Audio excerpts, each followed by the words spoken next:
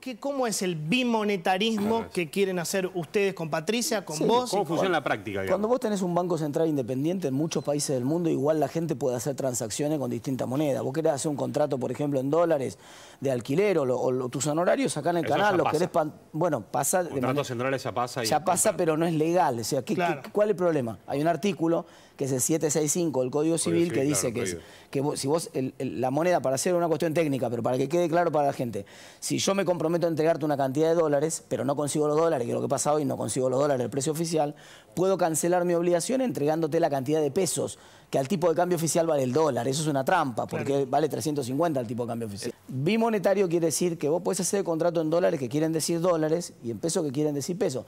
Cada uno usa la moneda que más le guste. Obviamente, eso no quiere decir, el peso tal y como lo conocemos, chicos, pónganle que en paz descanse.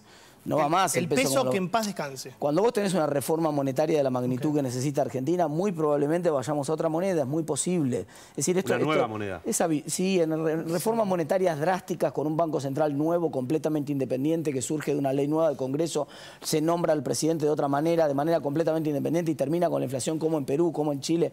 Bueno, es, es habitual que vos por ahí digas, bueno, también de paso enterremos este peso que ya está muerto y enterrado antes de que lo diga yo, ¿no?